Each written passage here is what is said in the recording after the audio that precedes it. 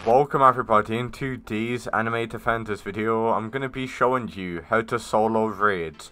So, I'm going to be showing you the best build you can use in Anime Defenders to solo raids without secret units.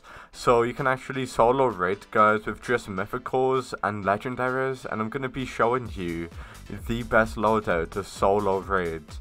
So this is by far the best method out there to solo raid, watch all the way until the very end.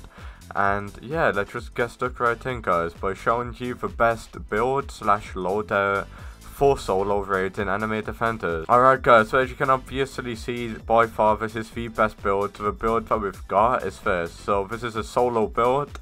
Um 25 million damage, which is kind of crazy, but the build is this.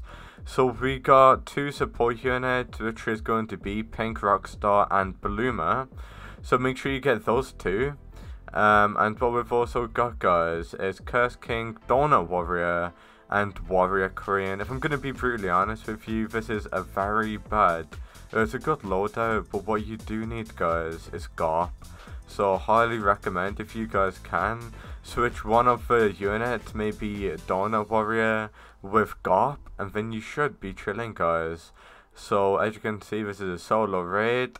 It did take only 17 minutes to complete, and ended up getting 45 shots, which is pretty good. So I'm not going to show you guys the placement and stuff, to to place the unit and stuff, because honestly, that doesn't even matter, guys. Like, you just need to get the right build. Once you get the best build, then you are chilling. The only bad thing, guys, is that, is that literally, guys, if you want to go ahead and do it, you need quite a lot of mythicals, and it's kind of hard to get mythicals, if I'm to be brutally honest with you.